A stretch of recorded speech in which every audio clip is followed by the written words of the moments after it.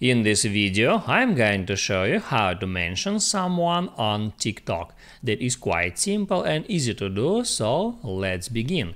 And first, open up TikTok app and then hit at that big plus sign to start creating a new video.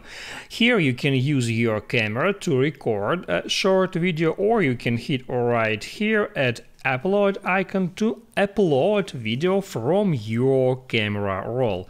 So I'll just check mark uh, some video and then I'll hit on next. And now in order to mention someone right here, first I can uh, tap at stickers icon and here I can easily find that mention sticker.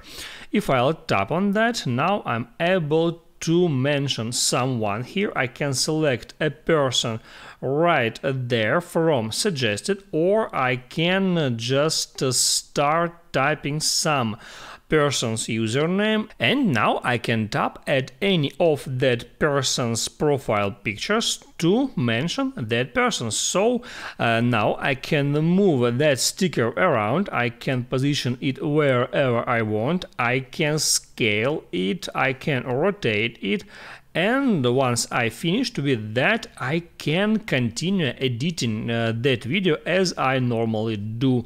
I can add here some effects or some filters or some text and then once I'm finished with that, I can hit on uh, next and then I can hit add post to share that video with my followers.